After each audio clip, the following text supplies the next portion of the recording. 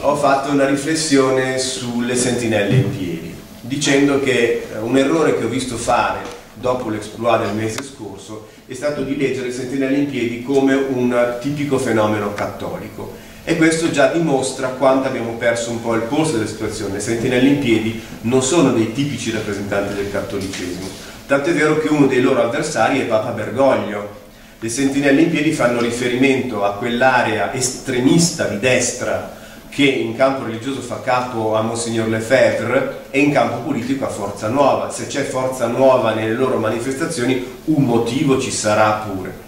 Che eh, mh, ha come punto d'incontro tra quelli che sono cristiani e quelli che cristiani non sono minimamente, come i, i ragazzotti di Forza Nuova, eh, l'autoritarismo, il, il totalitarismo, perché alla fine lui ha usato la parola omofobia perché è un'etichetta che tutti riconosciamo con facilità, ma eh, è, la parola omofobia è un lascito di anni nei quali l'omosessualità veniva discusso come un problema di patologia mentale. E quindi era stato giusto, erano gli anni 70, fare notare come violenta Uh, un violento odio, una violenta fobia contro gli omosessuali, come quello dell'assassino intervistato in carcere, che viene addirittura preso da qualche cosa che non sa neanche lui perché lo sta facendo, lui prima non saperlo, è proprio una tipica fobia. Ecco, fare notare che questi comportamenti sono fobici, che sono malattie e che sono loro che vanno curati, all'epoca aveva un senso. Secondo me il concetto di omofobia oggi è un'arma spuntata, tant'è vero che abbiamo avuto l'avvocaticchio che parla tranquillamente di eterofobia, è un termine inflazionato, abbiamo la bifobia, la transfobia, abbiamo l'islamofobia, abbiamo ormai eh, chiunque abbia un dissenso ideologico, politico verso un'altra persona diventa fobico, invece questo film riporta la questione nella sua natura vera, che è un problema politico.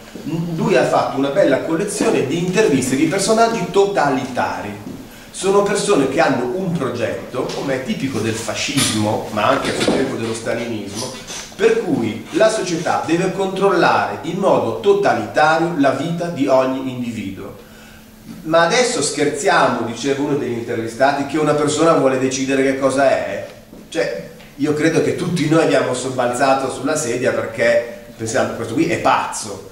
Eh, mi sono appuntato una fase di, di Forza Nuova che diceva che per non essere contro natura è necessario avere una norma per gestire i rapporti sociali.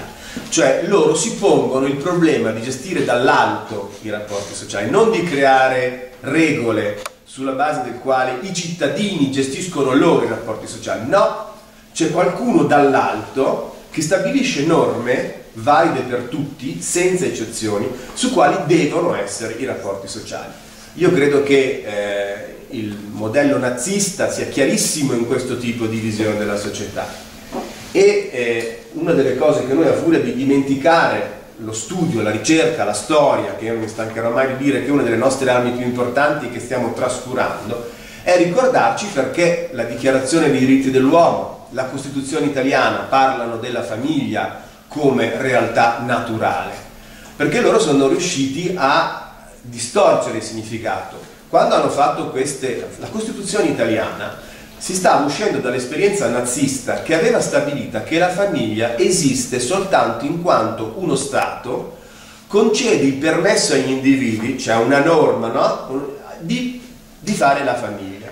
Ed è lo Stato a decidere che un ebreo non può sposare un ariano. Soltanto se lo Stato ti dà il permesso tu puoi fare la famiglia. Si vuole mettere una barriera contro questo modo di ragionare dicendo che la famiglia preesiste allo Stato e alle leggi. La famiglia è una società naturale, è qualcosa che degli individui fanno anche nello stato di natura, prima che esistano leggi, prima che esistano sanzioni giuridiche. Ok? Sotto questo tipo di definizione la richiesta del riconoscimento delle unioni tra persone del stesso sesso è perfettamente costituzionale, perché sta semplicemente chiedendo alla legge di riconoscere una società naturale preesistente, cioè non sono persone che prima vogliono la legge e poi se ci sarà penseranno a sposarsi. Abbiamo gente che stanno facendo causa allo Stato perché la loro società naturale esiste già ora, è la sanzione giuridica, il riconoscimento sociale che non esiste.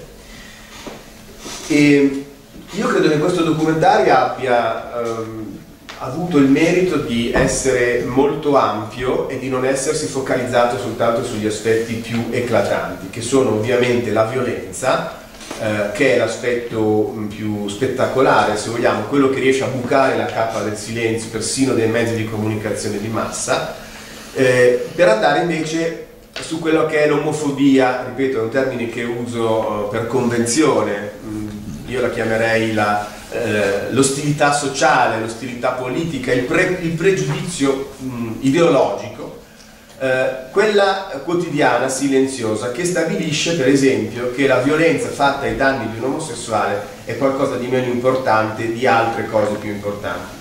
Il caso dei ragazzi con i pantaloni rosa, la sentenza finale è che si è stabilito che non fu omofobia. Il modo in cui gli insegnanti hanno cercato di mettere a tacere tutto, di nascondere quello che era stato un reato, perché lì c'era stata l'istigazione al suicidio, che è un reato per la legge italiana.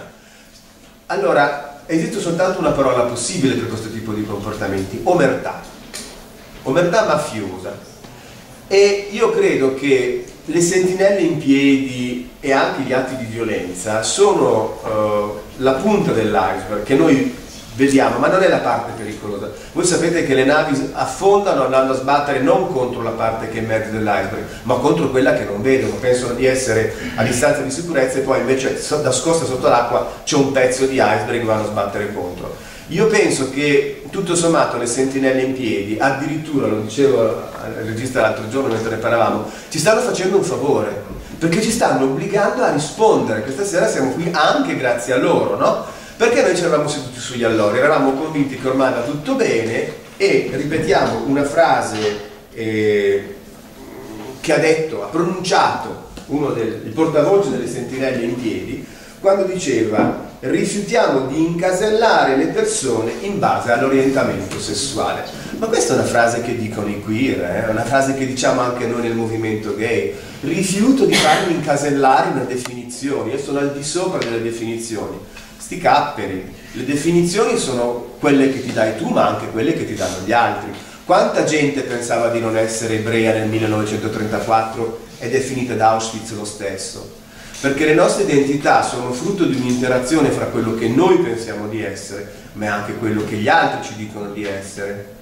Natalie Barney diceva io sono io perché quando torno a casa il mio cagnolino mi riconosce. Noi siamo quello che siamo anche sulla base del riconoscimento che abbiamo dagli altri. Ed è qui che noi, eh, avendo passato una fase quindicennale di narcisismo imperante all'interno del movimento gay, anzi LGBT, abbiamo dimenticato l'importanza eh, dell'aspetto sociale per il benessere dell'individuo. Non è sufficiente punire con una legge chi ammazza gli omosessuali, anche perché una legge contro l'omicidio c'è già. Ok? Qui stiamo parlando di reati. Ammazzare una persona è già un reato, quello che, di cui abbiamo bisogno è fare percepire alla società in cui viviamo il significato soggettivo di comportamenti di tipo omissivo, omertorio, eh, che vanno nel senso di stabilire che l'omosessualità non esiste e quindi non deve avere uno spazio sociale. Da questo punto di vista noi omosessuali siamo stati complici per tutti gli anni in cui abbiamo continuato a dire non voglio definirmi perché definirsi è limitarsi, no? Quante volte abbiamo sentito questa storia? Ci siamo nascosti e io sono stato molto colpito negativamente dalla testimonianza finale in cui la persona che parlava rimproverava gli altri di non averla trattata per quello che era anziché per quello che lei si è presentata di essere. E dice la mia vita sarebbe stata diversa, sì, ma sei stata tu a fare quella scelta, non gli altri. E mi colpisce il fatto che una persona eh, possa dare agli altri la colpa di qualcosa che era sua responsabilità. Dopodiché il gioco di dare la colpa alla vittima è un gioco antico, in fondo eh, il ragazzo che pantaloni rosa se l'è voluta lui, è stato lui, se, se l'è cercata, no? Eh, se ti picchiano per strada perché sei esibizionista, vai in giro vestito in un certo modo, perché la gente è ovvio che poi gli monta dentro qualcosa e la gente reagisce, ti mena, ti ammazza, eccetera. È un vecchio trucco.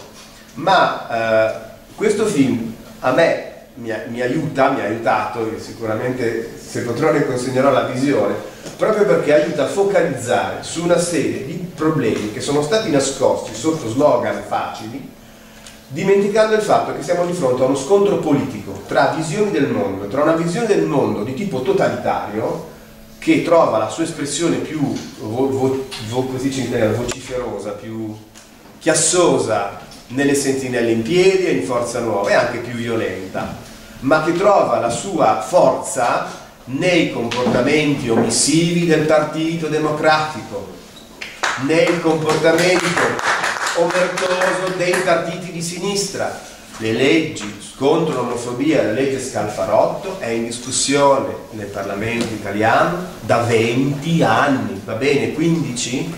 Ma in tutto il resto d'Europa l'hanno approvata nel frattempo. Noi stiamo ancora discutendo di portarla al voto. È chiaro che non mi preoccupano le sentinelle in piedi, mi preoccupa Renzi che ci aveva promesso che entro ottobre avrebbe fatto la legge contro l'omofobia. Siamo a novembre e non si è neanche cominciato. Ma in questo modo è riuscito a prendere un altro anno ed è così che siamo andati avanti. Prima di Scalfarotto c'era la Concia, prima della Concia ce n'era un altro e in questo modo, prima di lei c'era Prodi. E di anno in anno sono riusciti a tirare la situazione in cui siamo e noi siamo ancora lì a, a ringraziarli perché forse il prossimo anno discuteranno di queste cose. Chiudo perché ovviamente penso sia più interessante sentire lui di me. Eh, la, la mia conclusione è che vedendo le sentinelle in piedi, se qualcuno mi dovesse chiedere cosa ne penso, è che le ammiro.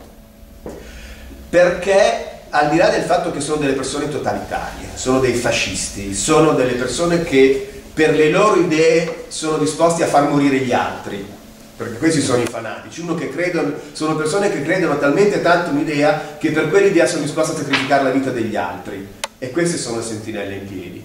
Però almeno loro si mobilitano per qualche cosa, scendono in piazza e esprimono il loro punto di vista. Dopodiché non, non, è il caso di farci prendere dal panico, è la cosa che sostengo questo mese su Pride, perché le sentinelle in piedi hanno già perso e lo sanno.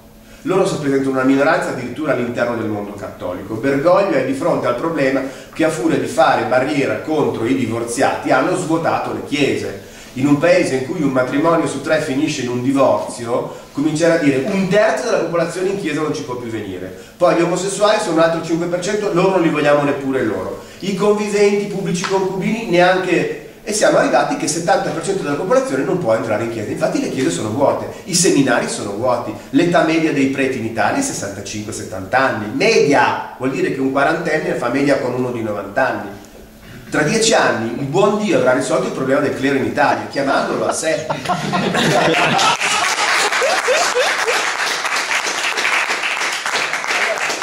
Vergogna che è un quindi doppiamente pericoloso, si è posto il problema di come riempire i seminari e le chiese. Questi che vedete a fare sentinelle in piedi mentre leggono Topolino in piazza sono quelli che eh, vogliono impedirgli di eh, allargare le maglie, le maglie che dovrà allargare perché la società è già cambiata, il mondo è cambiato, l'etica sessuale è cambiata, le sentinelle in piedi non stanno lottando contro il matrimonio gay, stanno preparando il referendum per l'abrogazione del matrimonio gay, che arriverà.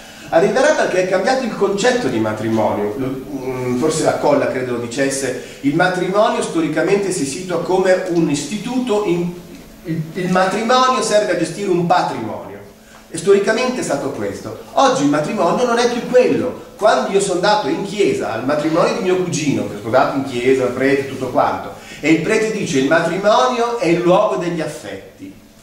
Ah, ma se il matrimonio è il luogo degli affetti, due persone omosessuali che hanno un affetto reciproco, perché non possono entrare nel matrimonio? Se mi dici che non possono, neghi che il matrimonio sia il luogo degli affetti e quindi neghi quello che la gente crede in questa società.